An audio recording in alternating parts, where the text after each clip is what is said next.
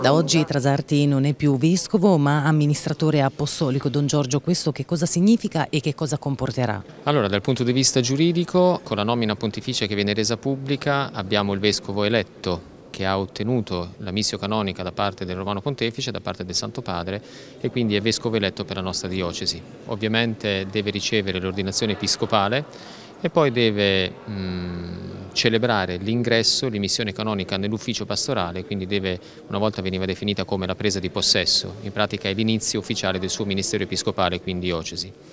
Il diritto prevede in questi momenti di transizione una continuità per garantire la vita della Chiesa, una certa stabilità e serenità quindi certi uffici decadono e sono quelli del vicario generale e degli altri direttori perché sono strettamente legati al vescovo, mentre per garantire la continuità permane l'ufficio di cancelliere dei vicari giudiziali e di economo.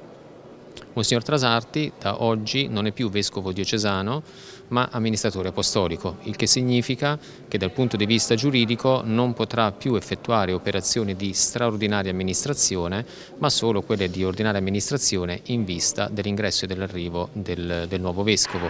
Questo per garantire la continuità ma sempre nel rispetto del principio che i canonisti definiscono come con queste situazioni nihil innovetur, cioè non si può rinnovare nulla perché ovviamente c'è il vescovo eletto e da ora in avanti aspetteranno lui le future decisioni. L'insediamento si sa già quando avverrà? Dipende tutto da, da Monsignor Andreozzi, sia il giorno della sua ordinazione episcopale, sia il luogo, sia l'ingresso nell'ufficio pastorale qui di Vescovo di Fano, dipende tutto da lui, ancora non abbiamo comunicazioni ma credo che quanto prima il Collegio dei Consultori prenderà contatto.